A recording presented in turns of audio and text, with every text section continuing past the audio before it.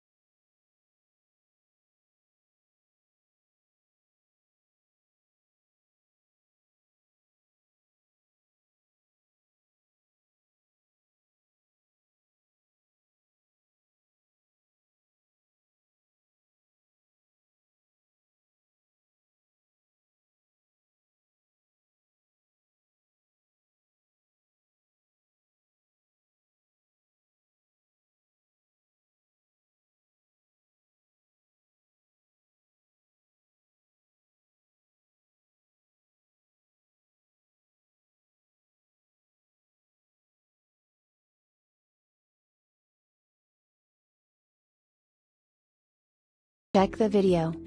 So this is the transitions. We can make different simple wedding or birthday slideshow movies using it.